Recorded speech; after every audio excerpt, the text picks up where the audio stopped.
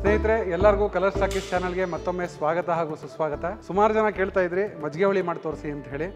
ಮಜ್ಜಿಗೆ ಹುಳಿ ಸುಮಾರು ಕಡೆ ನಮ್ಮ ಆರ್ ವಿ ಆರ್ ಕೇಟ್ರಿಂಗ್ ಅಂದರೆ ಬ್ರಾಹ್ಮಣರ ಮನೆ, ಅಡುಗೆ ಸುಮಾರು ಕಡೆ ಬ್ರಾಹ್ಮಣರ ಮನೆ ಮದುವೆಗಳೆಲ್ಲ ಒಪ್ಕೊಳ್ತೀವಲ್ಲ?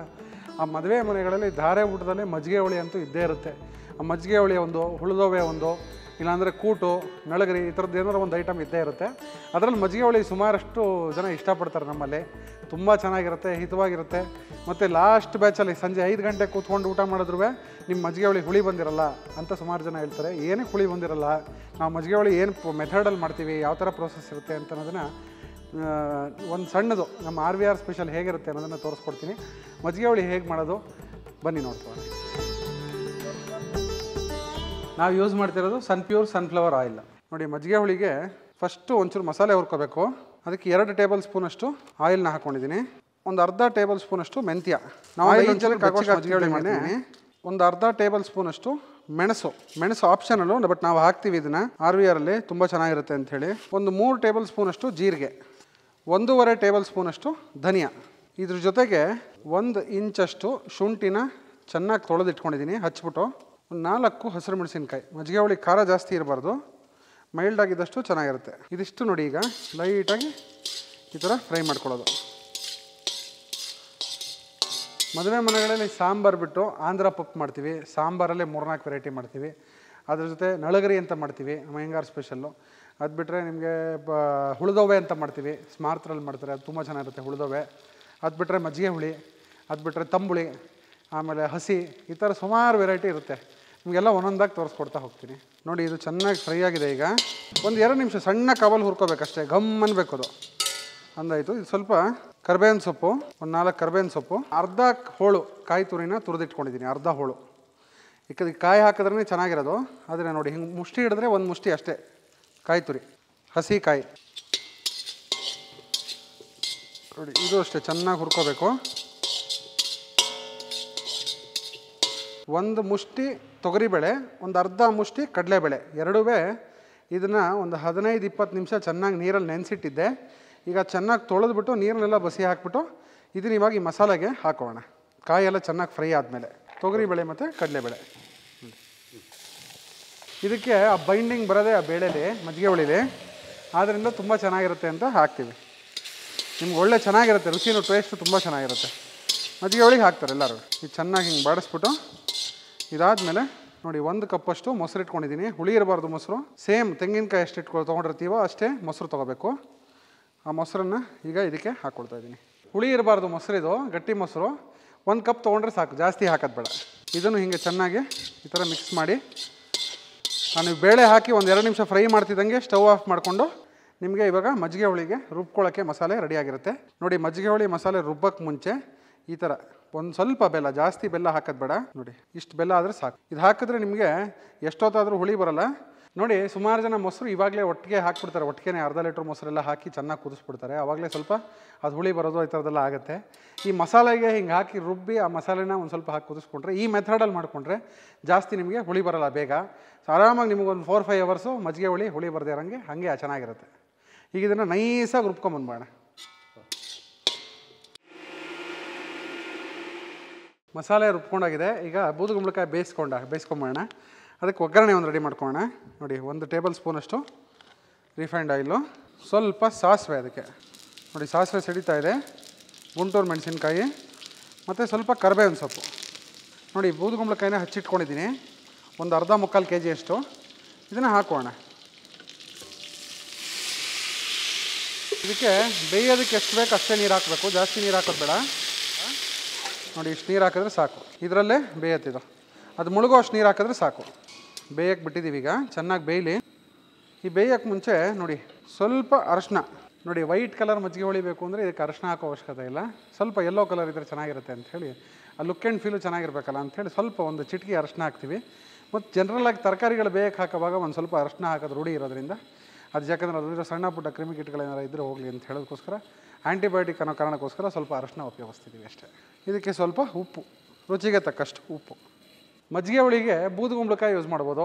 ಬೂದುಗುಂಬಳಕಾಯಿ ಮಜ್ಜಿಗೆ ಹುಳಿ, ಬೆಂಡೆಕಾಯಿ ಮಜ್ಜಿಗೆ ಹುಳಿ, ಆಮೇಲೆ ಸೋರೆಕಾಯಿ ಮಜ್ಜಿಗೆ ಹುಳಿ, ಆಮೇಲೆ ಸೌತೆಕಾಯಿ ಮಜ್ಜಿಗೆ ಹುಳಿ. ಅದು ಬಿಟ್ಟರೆ ಸೊಪ್ಪು, ಎಲ್ಲ ಸೊಪ್ಪುಗಳು ಮಿಕ್ಸ್ ಮಾಡಿ ಮಜ್ಜಿಗೆ ಹುಳಿ ಮಾಡ್ಬೋದು. ಇಲ್ಲಾಂದರೆ ಪಾಲಕ್ ಮಜ್ಜಿಗೆ ಹುಳಿ ಮಾಡ್ಬೋದು. ಪಾಲಕ್ಕೆಲ್ಲ ಹಚ್ಬಿಟ್ಟು ಇಲ್ಲ ಅಂತ ಹೇಳಿದ್ರೆ ನಿಮ್ಗೆ ಎಷ್ಟು ವೆರೈಟಿ ಹಸಿ ತರಕಾರಿಗಳು ಏನೇನಿರುತ್ತೋ ಎಲ್ಲದರಲ್ಲೂ ಮಜ್ಜಿಗೆ ಹುಳಿ ಮಾಡ್ಬೋದು. ತುಂಬ ಚೆನ್ನಾಗಿರುತ್ತೆ. ಮಸಾಲೆ ಸೇಮು. ಆವಾಗಲೇ ಏನು ಹುರ್ಕೊಂಡ್ವೋ ಅದೇ ಮಸಾಲೆ. ತರಕಾರಿಗಳು ಬೇಯಿಸ್ಕೊಳ್ತೀವಿ. ಕೆಲವೊಂದು ಕರಿತೀವಿ. ಈಗ ಬೆಂಡೆಕಾಯಿ ಅಂದರೆ ಸ್ವಲ್ಪ ಕರೆದ್ಬಿಟ್ಟು ಎಣ್ಣೆಲಿ ಸ್ವಲ್ಪ ಚೆನ್ನಾಗಿ ಬಾಡಿಸ್ಬಿಟ್ಟು ಆಮೇಲೆ ಅದಕ್ಕೆ ಮಸಾಲೆ ಹಾಕಿ ಕುದಿಸ್ಬಿಟ್ರೆ ಅದು ಬೆಂಡೆಕಾಯಿ ಮಜ್ಜಿಗೆ ಹುಳಿ ಆಗುತ್ತೆ. ಎಲ್ಲ ಒಂದೊಂದೇ ಒಂದೊಂದೇ ನಿಮಗೆ ತೋರಿಸ್ಕೊಡ್ತಾ ಹೋಗ್ತೀನಿ. ಸೇಮ್ ಮಸಾಲೆ ಅಂತೂ ಒಂದೇ ಬೇರೆ ಬೇರೆ ತರಕಾರಿ ಹಾಕಿ ಮಾಡ್ಬೋದು ಅಷ್ಟೇ ಇದು ಹೊಸದಾಗಿ ಕಿಚನ್ ಮಾಡಿದ್ದೀವಿ ಸ್ವಲ್ಪ ಸಫಿಷಿಯೆಂಟಾಗಿ ನಮ್ಮ ಕೇಟ್ರಿಂಗ್ಗಳಿಗೆ ಅನುಕೂಲ ಆಗಲಿ ಅಂತ ಹೇಳಿ. ಇದಕ್ಕೂ ಮುಂಚೆ ಒಂದು ಕಿಚನಲ್ಲಿದ್ವಿ. ಸುಮಾರು ಅದಕ್ಕೂ ಮುಂಚೆ ಒಂದು ಹದಿಮೂರು ವರ್ಷ ಒಂದೇ ಕಿಚನಲ್ಲಿದ್ವಿ. ಸುಮಾರು ವರ್ಷದ ಸ್ಟ್ರಗಲ್ ಇದು. ಮತ್ತು ಸುಮಾರಷ್ಟು ಅಪ್ಸ್ ಆ್ಯಂಡ್ ಡೌನ್ಸು ನೋಡಿದ್ದೀನಿ ಲೈಫಲ್ಲಿ ನಮ್ಮ ತಂದೆ ಕಾಲದಿಂದನೂ ಅವರು ಅಷ್ಟೇ ಅಪ್ಸ್ ಆ್ಯಂಡ್ ಡೌನ್ಸ್ ನೋಡಿದ್ದಾರೆ. ತುಂಬ ಕಷ್ಟದಿಂದ ಬಂದಿರೋವಂಥದ್ದು. ಇವಾಗ ಒಂದು ಮಟ್ಟಕ್ಕೆ ಸ್ವಲ್ಪ ಬೆಳಕಿಗೆ ಬರ್ತಾ ಇದ್ದೀವಿ ಅಷ್ಟೇ ಆದ್ದರಿಂದ ಎಲ್ಲರಿಗೂ ಕಷ್ಟ ಬಂದೇ ಬರುತ್ತೆ. ಆದರೆ ಅದಕ್ಕೆ ಮೀರಿ ನಿಂತ್ಕೊಂಡು ನಗನಗ್ತಾ ಕೆಲಸ ನಾವು ಏನು ಮಾಡ್ತೀವಿ? ಅದನ್ನು ಬಿಟ್ಟು ಬೇರೆ ಒಂದು ಒಂದು ಕೆಲಸ ಹೇಳಿದ್ರೆ ಒಂದೇ ಕೆಲಸ ಮಾಡಬೇಕು. ಅದನ್ನು ಬಿಟ್ಟು ಬೇರೆ ಮಾಡೋಕ್ಕೆ ಹೋಗ್ಬಾರ್ದು. ಹಾಗೆ ಫಸ್ಟು ಕಷ್ಟಪಟ್ಬಿಡ್ಬೇಕು. ಈಗ ಸುಮಾರು ಕಡೆ ಲಾಸ್ ಮಾಡ್ಕೊಂಡಿದ್ದೀವಿ ಹಿಂಗೇನೆ. ಒಂದಷ್ಟು ಕಾರ್ಪೊರೇಟ್ ಕೇಟ್ರಿಂಗು ಇಂಡಸ್ಟ್ರಿಯಲ್ ಕೇಟ್ರಿಂಗ್ ಅಂತೆಲ್ಲ ಮಾಡ್ತಿದ್ವಿ ಮುಂಚೆ. ಕೋವಿಡ್ಗೂ ಮುಂಚೆ. ಸಡನ್ನಾಗಿ ಕೋವಿಡ್ ಬಂತು ಸ್ಟಾಪ್ ಆಯಿತು. ಅದೊಂದು ಸುಮಾರಷ್ಟು ಒಂದು ಎರಡು, ಮೂರು ಕಿಚನ್ ಮಾಡಿದ್ವಿ ಆಲ್ರೆಡಿ ನಾವು ಕೋವಿಡ್ಗೂ ಮುಂಚೆನೇ. ಅವಾಗೆಲ್ಲ ಸಡನ್ನಾಗಿ ಲಾಸ್ ಆಗೋಯ್ತು. ಸಡನ್ನಾಗಿ ಸ್ಟಾಪ್ ಆಯಿತು. ಒಂದು ನಲ್ವತ್ತೈದು ಐವತ್ತು ಜನ ಸ್ಟಾಫ್ಗಳು ಎಲ್ಲರಿಗೂ ಒಂದಷ್ಟು ಸಂಬಳಗಳು ಕೊಡಬೇಕು, ಒಂದು ಆರು ತಿಂಗಳ ಕಾಲ ಅವ್ರನ್ನೂ ನೋಡ್ಕೋಬೇಕು. ಸಡನ್ನಾಗಿ ನಾವು ಕೈ ಬಿಡೋಕ್ಕಾಗಲ್ಲ ಕೋವಿಡ್ ಬಂತು ಅಂತ. ಹಾಗೆ ಎಲ್ಲ ಆಗಿ ಸುಮಾರಷ್ಟು ಲಾಸ್ ಆಯಿತು. ನಂಬರ್ಸ್ ಹೇಳೋದು ಬಿಡ, ಸುಮಾರು ಲಾಸ್ ಆಯಿತು. ಎಲ್ಲ ಸೋತಿ ಸೋತಿ ಸೋತಿ ಇವಾಗ ಆ ನಗುಮುಖ ಒಂದು ಮಾತ್ರ ನಮ್ಮಲ್ಲಿ ಇನ್ನೂ ಉಳ್ಕೊಂಡಿದೆ ಅಷ್ಟೇ. ನಗುಮುಖ ಮತ್ತು ಮನಸ್ಸಲ್ಲಿ ಶ್ರದ್ಧೆ. ಯಾವಾಗಲೂ ಹೌದಪ್ಪ ನಾನು ಮಾಡ್ತಿರೋದು ಸೇವೆ ಕೆಲಸ. ಹೌದು, ನಾನು ಕರೆಕ್ಟಾಗಿ ಮಾಡಬೇಕು. ಯಾರೋ ಪಾಪ ದುಡ್ಡು ಕೊಟ್ಟು ಮಾಡಿಸ್ತಾರೆ. ಇನ್ಯಾರೋ ತೊಗೊಂಡೋಗಿ ಬಡಿಸ್ತಾರೆ ಈಗ ನಮ್ಮ ಹುಡುಗರು. ನಾವು ಮಧ್ಯೆ ಅಡುಗೆ ಮಾಡೋರು ಕರೆಕ್ಟಾಗಿ ಶ್ರದ್ಧೆಯಿಂದ ನಗನಗ್ತಾ, ಹೌದಪ್ಪ ನಾನು ಮಾಡೋ ಅಡುಗೆ, ಮಿನಿಮಮ್ ಅಂದರೂ ಒಂದು ನೂರು ಜನ, ಇನ್ನೂರು ಜನ, ಐನೂರು ಜನ, ಸಾವಿರ ಜನ, ಎರಡು ಸಾವಿರ ಜನ ಊಟ ಮಾಡ್ತಾರೆ. ಅವ್ರು ಊಟ ಮಾಡೋರು ಆರೋಗ್ಯ ಚೆನ್ನಾಗಿ ವೃದ್ಧಿ ಆಗಲಿ ಅನ್ನೋದು ನಮ್ಮ ಮನಸ್ಸಲ್ಲಿ ಇಟ್ಕೊಂಡು ಅಡುಗೆ ಮಾಡಿದ್ರೆ ಹಂಡ್ರೆಡ್ ಪರ್ಸೆಂಟ್ ಅಡುಗೆ ಚೆನ್ನಾಗಿ ಆಗೇ ಆಗುತ್ತೆ. ಅದರಲ್ಲಿ ಎರಡು ಮಾತಿಲ್ಲ. ಹಾಗೆ ಮಾಡ್ಕೊಂಡು ಹೋಗ್ತಾ ಇದ್ದೀವಿ ಶ್ರದ್ಧೆಯಿಂದ ಚೆನ್ನಾಗಿ ಆಗ್ತಿದೆ. ನೋಡಿ ಇದು ಚೆನ್ನಾಗಿ ಬೆಂದಿದೆ. ಒಂದು ಐದು ನಿಮಿಷ ಬೇಯಿಸಿದ್ದೀವಿ ಬೂದುಗುಂಬಳಕಾಯಿ ಎಲ್ಲ ತುಂಬ ಕರಗೋದಂಗೆ ಆಗಬಾರ್ದು. ಸ್ವಲ್ಪ ಹೋಳು ಬಾಯಿಗೆ ಸಿಗಬೇಕು. ಮಸಾಲೆ ಈ ಥರ ಗಂಧದ ಥರ ನುಣ್ಣಗೆ ರುಬ್ಕೊಂಡಿದ್ದೀವಿ ಈ ರುಬ್ಬಿರೋ ಮಸಾಲೆನೂ ಇದಕ್ಕೆ ಹಾಕೋಣ. ಇದಕ್ಕೆ ಸ್ವಲ್ಪ ನೀರು. ಈ ಮಸಾಲೆ ಹಾಕಿದ್ಮೇಲೆ ನೋಡಿ ಸುಮ್ಮನೆ ಒಂದು ಎರಡು ಸಲ ಹಿಂಗೆ ತಿರುಗಿಸ್ಕೊಂಡು, ನೋಡಿ ಸ್ನೇಹಿತರೆ, ಇದುವೇ ಇವಾಗ ಸ್ವಲ್ಪ ಮಸಾಲೆ ಎಲ್ಲ ಹಾಕಿದ್ಮೇಲೆ ಸ್ವಲ್ಪ ಕುದಿಯೋಕ್ಕೆ ಶುರು ಆಗುತ್ತೆ. ಅದಕ್ಕೂ ಮುಂಚೆ ಸ್ವಲ್ಪ ಇಂಗು, ಅದು ಕುದಿಯೋಕ್ಕೂ ಮುಂಚೆನೇ ಸ್ವಲ್ಪ ಇಂಗಿಗೆ ಈ ಥರ ನಾನು ಪೇಸ್ಟಿಂಗ್ ತೊಗೊಂಡಿದ್ದೀನಿ. ಇದಕ್ಕೆ ಸ್ವಲ್ಪ ನೀರು ಹಾಕ್ಕೊಂಡು ಈ ಥರ ಇದನ್ನು ಕದ್ರಕೊಂಡು. ಪೌಡ್ರ್ ತೊಗೊಂಡ್ರೆ ಡೈರೆಕ್ಟಾಗಿ ಒಗ್ಗರಣೆಗೆ ಡೈರೆಕ್ಟಾಗಿ ಹಾಕ್ಬೋದು. ಈ ಥರ ಪೇಸ್ಟ್ ಹಿಂಗನ್ನ ಈ ಥರ ಹಾಲು ಥರ ಮಾಡಿಕೊಂಡು ಹಿಂಗೆ ಹಾಲು. ಇದನ್ನು ಚೆನ್ನಾಗಿ ಥರ ಕದ್ರಕೊಳ್ಳೋದು. ಇದನ್ನು ಹಿಂಗನ ಇದಕ್ಕೆ ಹಾಕ್ಬೋಣ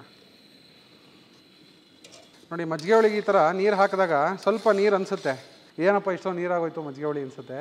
ಒಂದು ಎರಡು ಕುದಿ ಅಷ್ಟೇ ಎರಡು ಕುದಿ ಕುತ್ತಿದಂಗೆ ಗಟ್ಟಿ ಆಗ್ಬಿಡುತ್ತೆ ಮಜ್ಜಿಗೆ ಹುಳಿ ಯಾಕೆಂದರೆ ಬೇಳೆ ಎಲ್ಲ ಹಾಕಿರ್ತೀವಿ, ಕಾಯಿ ರುಬ್ಬ ಹಾಕಿರ್ತೀವಿ, ಎಲ್ಲ ಮಸಾಲೆ ಕೊಟ್ಟಿರ್ತೀವಲ್ಲ, ಅದು ಹದವಾಗಿ ಎಲ್ಲ ಹೊಂದ್ಕೋಬೇಕು ಮಜ್ಜಿಗೆ ಹುಳಿ ಫುಲ್ಲಾಗಿ ಅವಾಗ ಚೆನ್ನಾಗಿರುತ್ತೆ ನೋಡಿ ಈ ಥರ. ಎರಡೇ ಕುದಿ, ಜಾಸ್ತಿ ಕುದಿಸೋದು ಬೇಡ. ನೋಡಿ ಸ್ನೇಹಿತರೆ ಆವಾಗಲೇ ಕುಂಬಳಕಾಯಿ ಬೇಯುವಾಗ ಒಂದು ಸ್ವಲ್ಪ ಉಪ್ಪು ಹಾಕಿದ್ದೆ. ಈಗ ರುಚಿ ನೋಡಿಬಿಟ್ಟು ರುಚಿಗೆ ತಕ್ಕಷ್ಟು ಉಪ್ಪನ್ನು ಹಾಕೋಣ. ಸ್ನೇಹಿತರೆ, ಸುಮಾರು ಜನ ಕೇಳ್ತಾ ಇರ್ತೀರಾ, ದಯವಿಟ್ಟು ಒಂದು ಹೋಟ್ಲ್ ಮಾಡಿ, ಡೈಲಿ ನಾವು ಬಂದು ಟೇಸ್ಟ್ ಮಾಡಬೇಕು ಅಂತ ಹೇಳಿ. ನಾನು ಹೇಳ್ದಂಗೆ ನಾವು ಸುಮಾರಷ್ಟು ಏನೇನೋ ಪ್ರಯೋಗಗಳು ಮಾಡಿ, ಆಲ್ರೆಡಿ ಸೋತು, ಇವಾಗ ಒಂದು ಮಟ್ಟಕ್ಕೆ ಒಂದು ಭಗವಂತ ಕಂಡುಬಿಡೋ ಮಟ್ಟಕ್ಕೆ ಬಂದಿದ್ದೀವಿ. ಏನಕ್ಕೆ ಅಂತ ಹೇಳಿದ್ರೆ, ನಾವು ಪ್ರತಿಯೊಂದು ಎಲ್ಲ ಕಡೆಯೂ ಕಲಿಡೋಕ್ಕಾಗಲ್ಲ. ಅದಕ್ಕೋಸ್ಕರ ನಾವು ಕೇಟ್ರಿಂಗಲ್ಲೇ ನಮ್ಮ ತಂದೆ ಕಾಲದಿಂದನೂ ಅವಾಗಿಂದ ಬಂದಿರೋದ್ರಿಂದ ಕೇಟ್ರಿಂಗಲ್ಲಿ ಜಾಸ್ತಿ ಗಮನ ಅದರಲ್ಲೇ ಕೊಡೋದ್ರಿಂದ ನಾವು ಪೂರ್ತಿ ನಮ್ದು ಏನು ಬೆಳಗ್ಗೆಯಿಂದ ಸಂಜೆವರೆಗೂ ಏನು ಕೆಲಸ ಇದೆ ಅದು ಪೂರ್ತಿ ಕೇಟ್ರಿಂಗ್ ಅಷ್ಟೇ ಒಂದೇ ಕೊಡೋಕ್ಕಾಗೋದ್ರಿಂದ ಅದನ್ನು ಮಾತ್ರ ಮಾಡ್ತಾ ಇದ್ದೀವಿ. ನಾವು ಸ್ಪೆಷಲಿ ಸುಮಾರು ಜನ ಕೇಳ್ತಾ ಇರ್ತಾರೆ, ಏನು ಮಾಡ್ತೀರಾ? ನೀವು ಇದು ಮಾಡ್ತೀರಾ, ಅದು ಮಾಡ್ತೀರಾ? ಅಂತ. ನಾವು ನೋಡಿ ಮದುವೆ ಮನೆ ಕೇಟ್ರಿಂಗ್ಗಳು ಬಿಟ್ಟು ಮನೆಗಳ ಫಂಕ್ಷನ್ಗಳ ಕೇಟ್ರಿಂಗ್ಗಳು ಈ ಥರ ಕೇಟ್ರಿಂಗ್ ವ್ಯವಸ್ಥೆಗಳು ಬಿಟ್ಟು ಬೇರೆ ಏನು ನಾವು ಮಾಡಲ್ಲ. ಅದು ವೆಜ್, ಬರೀ ವೆಜಿಟೇರಿಯನ್ ಕೇಟ್ರಿಂಗ್ಗಳು ಮಾತ್ರ. ಶುದ್ಧ ಸಸ್ಯಾಹಾರಿ ಕೇಟ್ರಿಂಗ್ಗಳು ಮದುವೆ, ಗೃಹ ಪ್ರವೇಶ, ಉಪನಯನ ಮತ್ತಿತರ ಶುಭ ಸಮಾರಂಭಗಳಿಗೆ ನಾವು ಅಡುಗೆ ವ್ಯವಸ್ಥೆ ಮಾಡಿಕೊಡ್ತೀವಿ. ಕರ್ನಾಟಕದಾದ್ಯಂತ ಎಲ್ಲಿದ್ದರೂ ಹೇಳಿ ನಾವು ಮಾಡ್ಕೊಡ್ತೀವಿ ಬಂದು. ಮಜ್ಜಿಗೆ ಹುಳಿ ಇವಾಗ ಚೆನ್ನಾಗಿ ಕುದಿ ಬಂದಿದೆ. ಈಗ ಸ್ಟವ್ ಆಫ್ ಮಾಡೋಣ, ಸಾಕು. ಮೇಲುಗಡೆ ಸ್ವಲ್ಪ ಕೊತ್ತಂಬರಿ ಸೊಪ್ಪು. ಸ್ನೇಹಿತರೆ, ಕೆಲವರು ಕಡಲೆ ಹಿಟ್ಟು ಹಾಕೋದು ಅವೆಲ್ಲ ಮಾಡ್ತಾರೆ. ನಾನು ನೋಡ್ದಂಗೆ, ಅಂದರೆ ಅದು ಎಮರ್ಜೆನ್ಸಿಗೆ ಏನೋ ಒಂದು ಮಾಡಿರ್ತಾರೆ ಅಷ್ಟೇ ಆ್ಯಕ್ಚುಲು ಇದೇ ಪ್ರೋಸೆಸ್ಸು. ಟ್ರೆಡಿಷ್ನಲ್ ವೇ ಏನಿದೆಯೋ, ಅದು ಹೀಗೆ ಬಂದಿರೋದ್ರಿಂದ ಈಗ ಮಾಡಿದ್ರೆ ಒಳ್ಳೆಯದು ಸ್ವಲ್ಪ ತೊಗರಿಬೇಳೆ ಸ್ವಲ್ಪ ಕಡಲೆಬೇಳೆ ಕಡಲೆಬೇಳೆ ಅಂಶ ಕಮ್ಮಿ ತೊಗರಿಬೇಳೆ ಅಂಶ ಜಾಸ್ತಿ. ಒಂದೂವರೆ ಟೀ ಸ್ಪೂನ್ ತೊಗರಿಬೇಳೆ ಅರ್ಧ ಟೇಬಲ್ ಸ್ಪೂನಷ್ಟು ಕಡಲೆಬೇಳೆ ಹಾಕ್ಬಿಟ್ಟು ಒಂದು ಹದಿನೈದು ಇಪ್ಪತ್ತು ನಿಮಿಷ ಚೆನ್ನಾಗಿ ನೆನೆಸಿ, ಅದು ನೆಂದ ಮೇಲೆ ಈ ಮಸಾಲೆ ಹುರ್ಕೊಂಡು ಮಾಡಿದ್ರೆ ಮಜ್ಜಿಗೆ ಹುಳಿ ತುಂಬ ಚೆನ್ನಾಗಿ ಬರುತ್ತೆ. ಇದೇ ಟ್ರೆಡಿಷ್ನಲ್ ವೇ. ಈ ಥರ ಒಂದ್ಸಲಿ ಮಾಡ್ಕೊಳ್ಳಿ. ನಮ್ಮ ಮದುವೆ ಮನೆ ಸ್ಪೆಷಲ್ ಮಜ್ಜಿಗೆ ಹುಳಿ ತಯಾರಾಗಿದೆ. ಈಗ ಒಂದ್ಸಲಿ ಟೇಸ್ಟ್ ಮಾಡೋಣ ನೋಡಿ ಸ್ನೇಹಿತರೆ, ಮಜ್ಜಿಗೆ ಹುಳಿ ಒಳ್ಳೆ ಹಿತವಾಗಿ ರೆಡಿಯಾಗಿದೆ ಕಲರು ಅಷ್ಟೇ, ಒಳ್ಳೆ ನ್ಯಾಚುರಲ್ ಕಲರು ಮಜ್ಜಿಗೆ ಹುಳಿ ಹೈ ಕ್ಲಾಸಾಗಿದೆ ನೋಡಿ ಕನ್ಸಿಸ್ಟೆನ್ಸಿ ಇದು ಕರೆಕ್ಟಾಗಿದೆ ಸಾಂಬಾರು, ಹುಳಿ ಕನ್ಸಿಸ್ಟೆನ್ಸಿ ಇರಬೇಕು. ಇದಕ್ಕಿಂತ ಜಾಸ್ತಿ ಗಟ್ಟಿ ಆಗೋದು ಬೇಡ. ನೋಡಿ ಬಿಸಿ ಬಿಸಿ ಮಜ್ಜಿಗೆ ಹುಳಿ ಅನ್ನದ ಜೊತೆ ಹಿತವಾಗಿರುತ್ತೆ. ನೋಡಿ, ಬಿಸಿ ಬಿಸಿ, ಒಳ್ಳೆ ಮಜ್ಜಿಗೆ ಹುಳಿ ತಯಾರಾಗಿದೆ. ಟೇಸ್ಟ್ ಮಾಡೋಣ ನೋಡಿ ಕಲರ್ ನೋಡಿ, ಒಳ್ಳೆ ನ್ಯಾಚುರಲ್ ಕಲರ್ ಬಂದಿದೆ. ಟೆಕ್ಸ್ಚರು ಆ ಘಮ್ ಅಂತ ಇದೆ. ನೋಡಿ, ಕಲ್ಸ್ಕೊಂಡು ಹಿಂಗೆ.